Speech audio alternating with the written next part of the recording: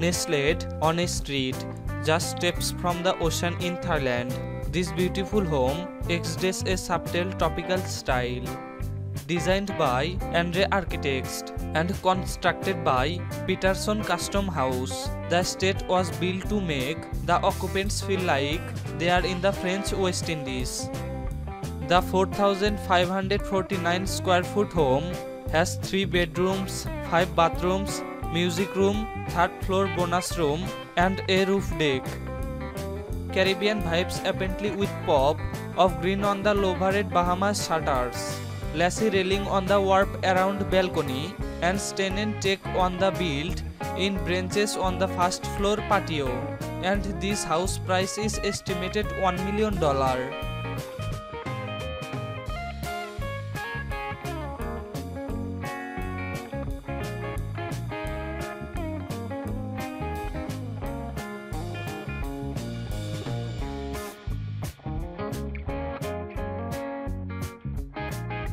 Thanks for watching.